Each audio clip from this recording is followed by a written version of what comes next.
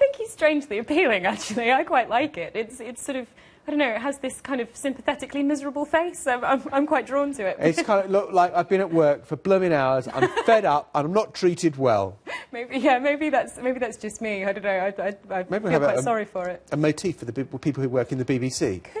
Could be, yeah. I've Okay, seen so- some faces like that in the news. Yeah, I'll, late I'll, night I'll, shift. I'll, I'll, I'll, I'll stay out of trouble. And, and, and, and, how, and how sort of threatened are the habitats where these creatures live? Well, each of these creatures has been selected. I mean, it's, it's a little bit of an arbitrary vote in a way because each of these creatures has been selected by a champion, and this whole competition has been run by these campaign messages. For each of these champions has posted an online video on YouTube, and then the public have been asked to vote. And overwhelmingly, they voted for the blobfish. I think because of this surprisingly uh, where does, a miserable blob, where does a blobfish live? So it lives um, off the coast, in the deep waters off the coast of southeastern Australia and Tasmania. And like many of the creatures on this list, it's threatened by human activity. It lives at depths of about a kilometre, and it shares its habitat with lobsters and crabs that are fished. So it's often caught in bycatches. It's, it's quite a large, about a, a 30 centimetre long fish. So it's really easy to get caught up in nets and it can't escape. So it's never been filmed alive. It's got this gelatinous uh, substance for its flesh that's only slightly more dense than water, and it just bobs about at that depth, remaining kind of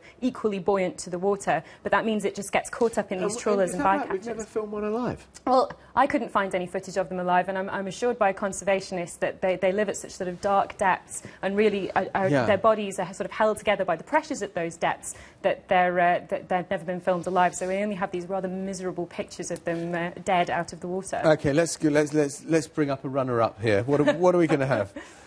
A water frog. Let's see a water frog. So Oh. this is a rather stretched image of the uh, Lake Titicaca water frog, um, as, as you said, um, sort of affectionately nicknamed the, the scrotum frog in the introduction. And the reason for that rather hideous nickname is because its skin has these very many folds in it. You'll see it's got all of this extra skin.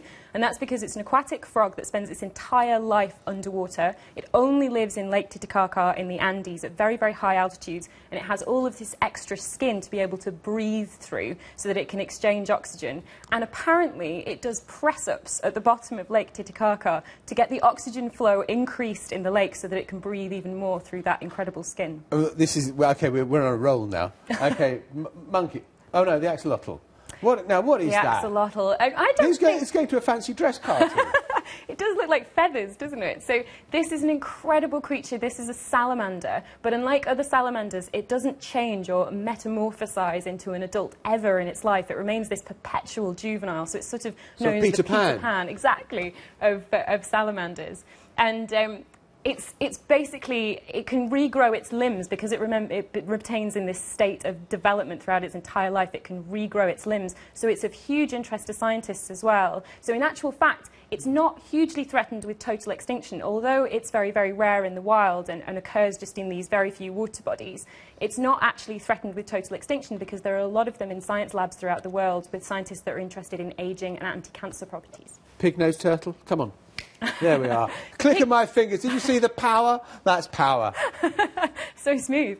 Um, this is an incredible creature. Again, lives off the coast of Australia and northern Australia in the more tropical areas this time. And that nose is not only a snorkel that allows it to just kind of poke its nose out of the water, avoiding predators but being able to breathe, but it's also filled with sensors, with sensory receptors, and that's why it's got such a big surface area and such a sort of unfortunate face, so that it can actually sense disturbances that let it know that predators are coming.